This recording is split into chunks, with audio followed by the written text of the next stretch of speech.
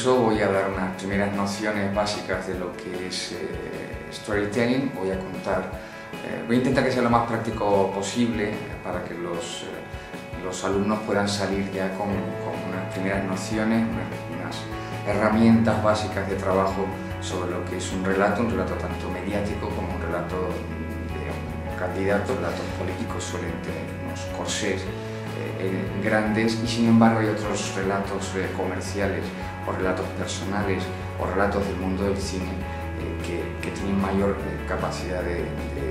pegada precisamente por su libertad, por su mayor libertad. Entonces vamos a hacer ese compendio de mundo político y luego mundo mediático. Estoy contento porque además creo que el curso va a estar muy compensado, está claro que, que, eh, a, mi, a, mi, sesión de storytelling le toca quizás una de las herramientas más emocionales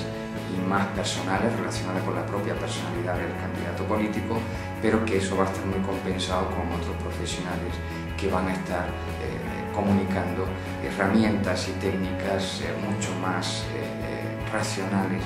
y también relacionadas con la medición de la eficacia, que creo que es muy importante.